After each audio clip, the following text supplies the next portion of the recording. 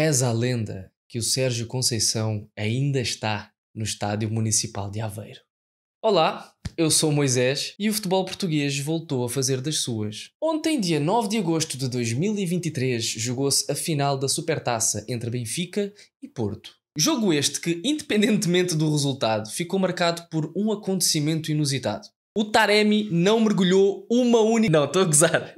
Quase, quase no fim do jogo, já nos descontos, o árbitro mostrou o cartão vermelho a Sérgio Conceição, que se recusou a sair do campo. Para quem está a ouvir isto pela primeira vez, é verdade.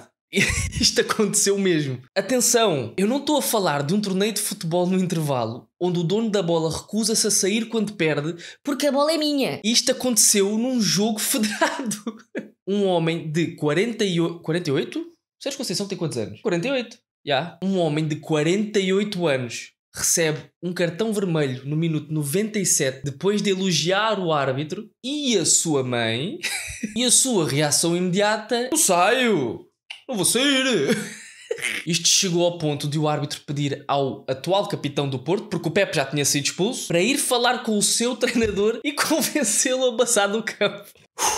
De novo, eu não estou a falar de um puto que está a experimentar um skate na Decathlon e o segurança é mandado ir lá para fazer com que o puto pare de experimentar o skate na Decathlon. Pô, puto, isto sabes que nem é por mim, pá. Isto é regras da empresa, mandaram-me vir aqui falar contigo, pediram-me para falar contigo, sabe? Por mim, era, podia estar aí. Por mim, podia estar aí. Oh, mister, ali aquele senhor está a pedir para sair. Opá, não é por mim. Por nós, o mister podia ficar.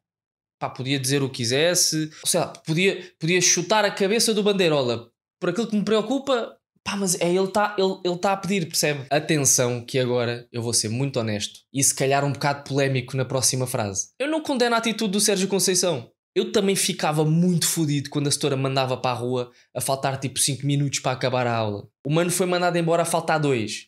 E quando, pá, esporadicamente isso acontecia, eu já sabia que ia levar uma ganda pisada da minha mãe e também me recusava a sair. Então, faltava 5 minutos. Mãe, olha, ah, faltava tipo 5 minutos para lá acabar, mas olha, a setora disse que eu estava a incomodar, ia fazer barulho. É pá, oh Moisés, também não sabias ficar calado por mais 5 minutos? Hã? Otário da merda! A minha mãe não diz as neiras, mas vamos, vamos fingir que sim, só para.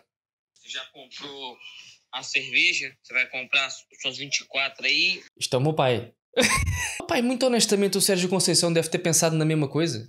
Muito honestamente, não o condeno. Então, amor, como é que correu o jogo? E isto ia ficar mais engraçado se a voz da, da mulher dele é que fosse. Então, amor, como é que correu o jogo? Epá, olha, foi expulso. Ah, tu estás a chegar a estas horas porquê? Ficaste lá a ver o jogo todo. Fui expulso a dois minutos do fim. Epá, foda-se Sérgio também. Também não conseguias calar a p da boca mais dois minutos. É embaraçoso. Acredito que seja embaraçoso. Pausa para um outfit check.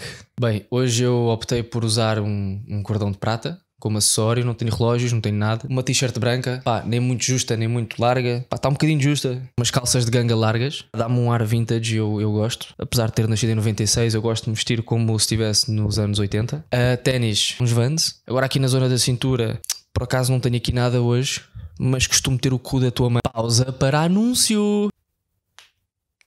Estás farto de ver conteúdo ridículo nas redes sociais? Sentes-te muito afetadinho por ver os teus amigos e influencers sempre de férias e a viajar? Gostas de mandar bitites no Twitter e depois odeias quando as pessoas vão discutir contigo? Os criadores dos smartphones inventaram uma nova funcionalidade que te vai ajudar. Ai vida! Ah, ah, ah, ah, ah. Esta nova funcionalidade vai revolucionar tudo o que nós conhecemos neste século XXI é só carregarem neste botãozinho aqui de lado e repara.